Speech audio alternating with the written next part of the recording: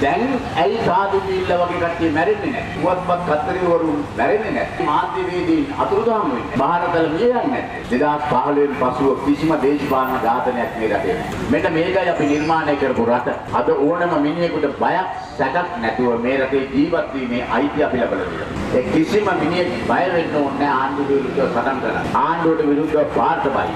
ආණ්ඩුවට විරුද්ධව පෙළපාලියන්. ඒ නිසා අපිට සතුටු වෙන්න හැකි මේ තාත්තව මරපු ඒ දේශපාලන සංස්කෘතිය අපේ රටෙන් අපි නැති කරලා දාන්න.